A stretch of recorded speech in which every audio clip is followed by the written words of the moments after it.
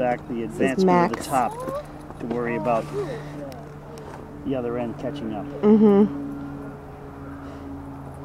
And there's, you know, there are a bunch of kids that need to learn how to how to dissect a race course because they're getting into the, the situation where they're getting in race courses, Yeah. not back and forth. Yeah. And like, like for instance, Damian. Damian is still at sea pole turn.